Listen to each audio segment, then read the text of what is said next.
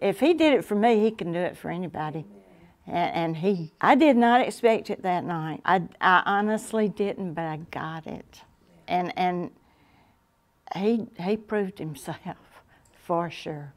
Two days ago, I went to the heart doctor, and he, she, she got through examining me, and she said, "You don't have COPD anymore." So I knew that was another thing. I said, she kept listening to my heart, and I said, How's my heart? She said, Your heart's strong.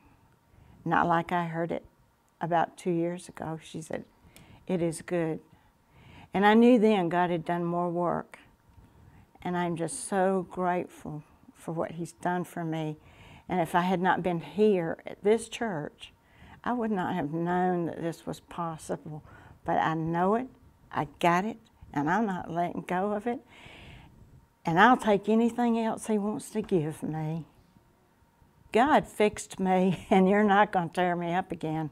So I, I've got it. This is just something I couldn't believe, and I still don't. It's so hard to believe it's me. It really is.